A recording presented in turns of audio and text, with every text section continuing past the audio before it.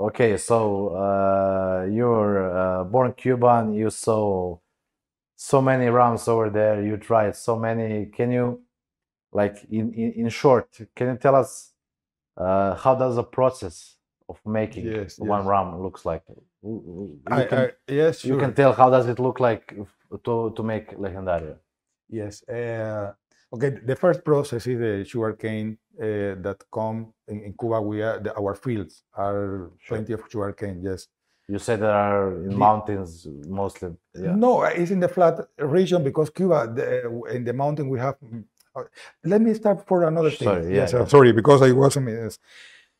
There are three. uh, The trilogy that we can name Cuba is the that make Cuba special is the the rum, uh, the rum that come from the Cuba, the sugarcane, of course, the coffee, and and the cigars, the Cuban Mhm. cigars. This made the perfect combination uh, Mhm. in the historical Cuba, no? Yeah.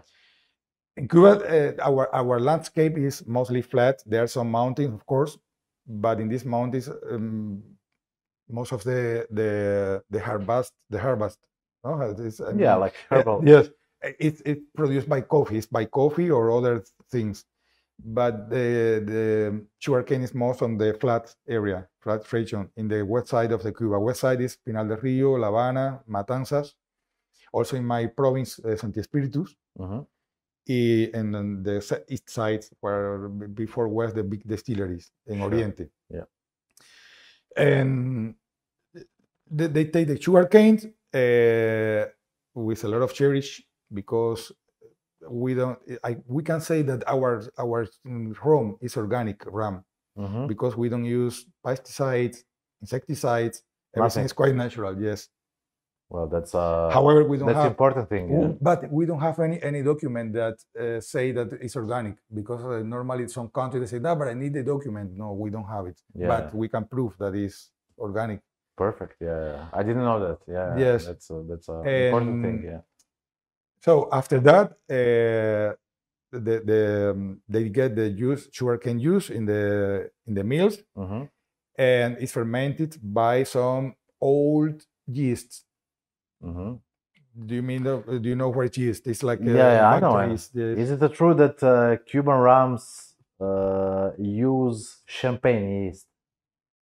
Ah, I don't know. You don't know? No, I read that some somewhere. really. Yeah, yeah. Maybe, maybe another, but no, I didn't know That that. it's uh, like a old school method to do. Mhm. Uh, I mean, it's nothing wrong, wrong with it. It's actually great. I yeah. know that some of these yeasts are for centuries uh, kept in, in Cuba. eh? They have, yes, Really? yeah, really.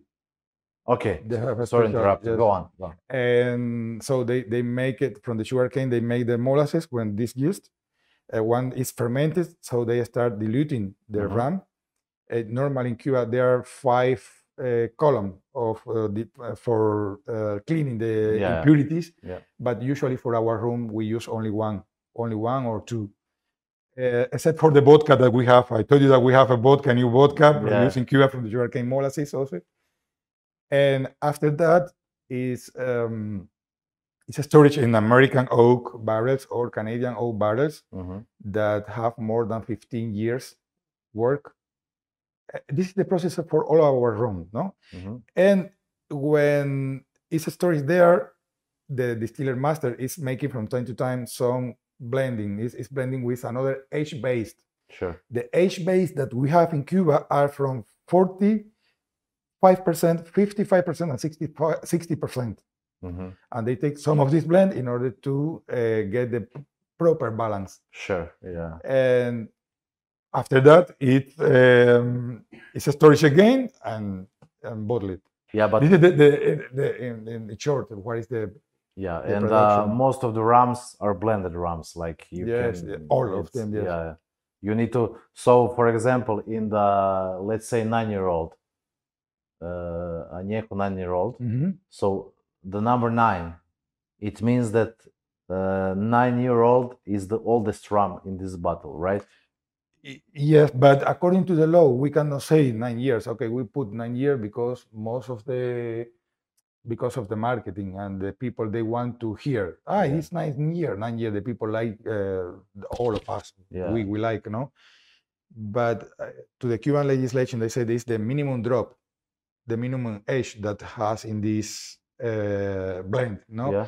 And the blend they take from four, five, six, nine, nine years. Okay. Okay. Okay. Yes, but according to the uh, distiller master perception, the rum is really nine year.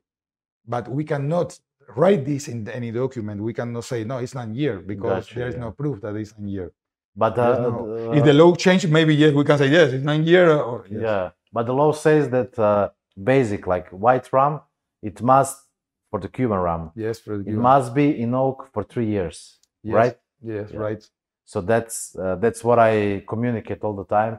That's the difference between uh, Cuban rum and maybe other rums, because Cuban rum has a law that says it must be in oak for Yes. three years. Yes, If you see, uh, let's say, pure white Cuban rum, it means that it's filtered back to remove the color, yes. right?